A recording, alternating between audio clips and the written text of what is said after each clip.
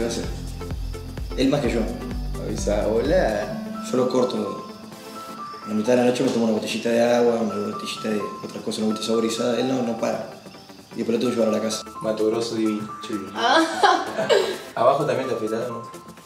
No, igual después sí te voy a afeitar abajo. Sí, no, sí, no. más vale. Pero ¿cómo es que los dos son actores y después, o sea, viste que a veces toca hacer de, de novio de otro o hacer alguna escena así? ¿No hay celos ahí? Entiendo por qué yo bailo en Camar. Yo pensé que salían con ustedes. Este papelito. Porque no conseguimos traje. En Marí Marí no sale cualquiera, viejo.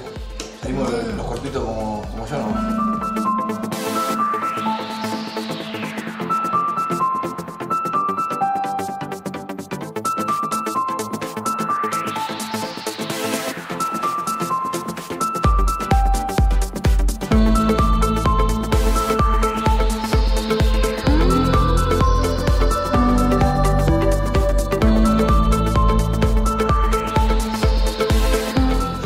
Recuerdo del carnaval, eh, de ir a verlo con mi familia y de, de, no sé, ver que, era, que para todos era tan importante, no sé, ya lo vas palpando desde chico que, que, sea, es el centro de la vida de cualquier gualeguaychense el carnaval. Es muy, muy poca la gente que no, que no participa ni, ni le tiene el respeto que nosotros le tenemos.